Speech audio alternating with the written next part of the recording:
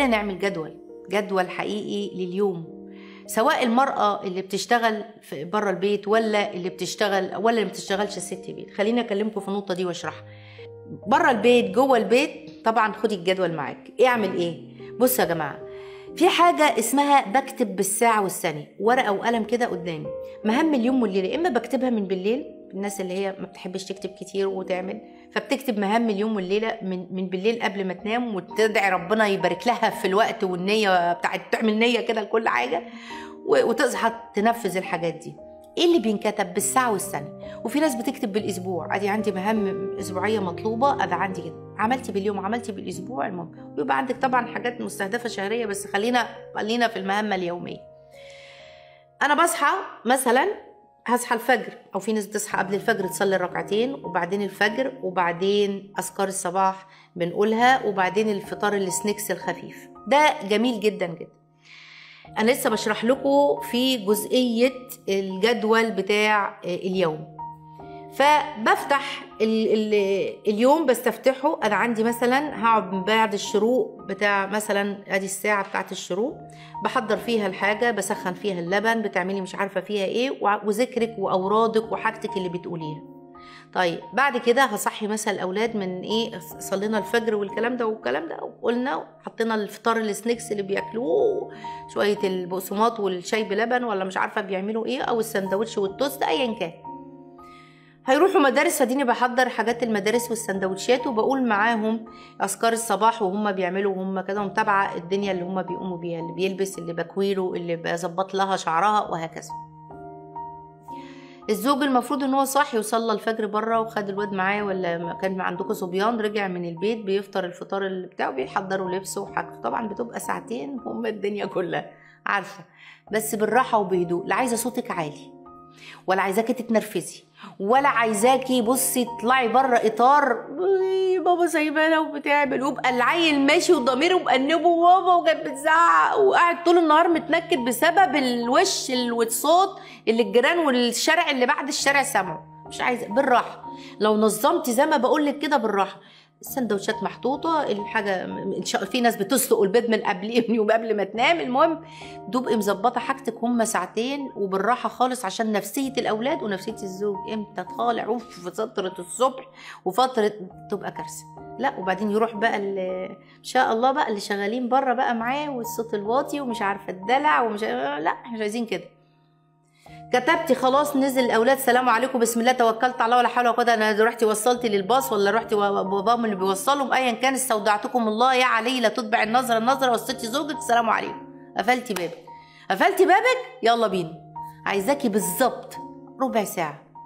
هتعملي الإسبريسو بتاعك هتعملي النسكافيه تشربي قاعدة ما بتعمليش حاجة وقاعدة باصه في الملكوت اقعدي بصي في الملكوت. اهدي. خدي فترة فصل ما بين هنا وما بين هنا. اهدي. افتحي بصي للسماء والتفكر في السماء التفكر في المصحف النظر للمصحف عبادة.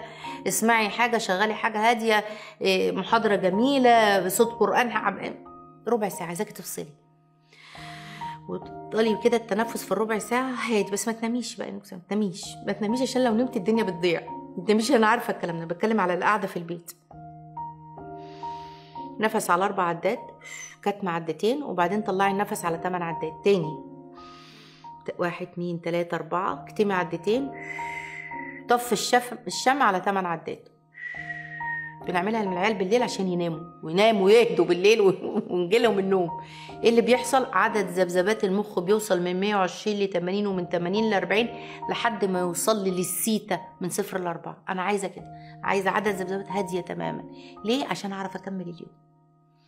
نويتي دخلت أوضتي الأولاد. آه أوضة الأولاد هخشها من 8 ل 8 وربع. الذكر اللي بيتقال فيها إنا لله وأنا إليه راجعون. اللهم أجرنا في مصيبتنا واخلفنا خيرا منها. هتلاقي حاجات ورا السرير وتحت المخدة ومش عارفة إيه محطوط هنا.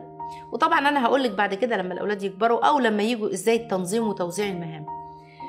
بتخشي كل غرفة لها ذكر. ذكر بتاع غرفة زوجك مثلا. لا حول ولا قوة إلا بالله. الحسبلة. سبحان الله والحمد لله.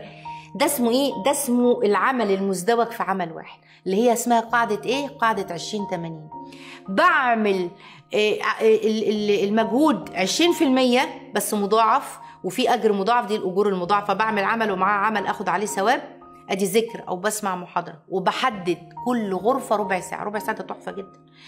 بغير ملاية السرير بتاع زوجي بغير الحاجة الجديدة وبكتب له ورقة علامه ساعات عشان هتنسى أنا عارفة وتكتبي كده فعلته لله فيك. حسبة لله عشان إدخال سرعة على القلب قولي مش عيب. مش عيب إن إحنا نسبب الكلام ده علشان الناس بتنسى. وبيفتكرها ما عادي عملتي إيه يعني؟ إيه لا, لا عملت. لا عملت. أنا غيرت ملايات وعملت عشان أنت تفرح. تشيلي الشرابات ولعب الأطفال اللي هيجي يقع فيها ويتكعبل فيها والدبوس اللي دخل في رجل كل الكلام ده غرفة النوم لها قدسية خاصة ولها برفانات خاصة لها عطر وبخور خاص لو بتعملي البخور. لها أمور خاصة. وبتقفلي وبتهوى طبعا شوية في الشمس وبعد كده عملتي وعملت خلاص خلاص. بحدد من 8 ل 8 وربع. طب من 8 وربع ل 8 ونص في الغرفة كده في الصالون في الريسبشن خلصت الدنيا دي بالوقت. من فضلك اسمعي الكلام اللي بقول لك عليه. بالوقت مكتوب كده. لا ما هو في دماغي. خدها العصفور وطاريه حلوة والله. في دماغك كل الحاجة في دماغنا بياخدها تاخدها الحدايات والغربان والطير. لا اكتبي اكتبي علشان عارفة الكتابة إيه؟ اسمها صيد صيد الخاطر. خلاص. كتبنا دخلتي على المطبخ العظيم. العظيم ده بقى عايز له محاضرات بقى وعايز له بصي تحف كده. يا هتراجعي الورد اللي هو الماضي الجديد الماضي اللي اللي أيوه الماضي الجديد وبعدين الماضي القديم. يا هتراجعي الورد بتاعك وإما تاخدي جديد. براحتك يا إما هتسمعي محاضرة. ما ينفعش تقعدي كده. ليه؟ يا سلام بقى. ما تقعدي لوحدك كده وسايبة نفسك مخك لأفكارك وأنت عمالة تغسلي المواعين وعمالة تعملي. غلط. أنا بقول لك أبا بشرك من دلوقتي مش صح؟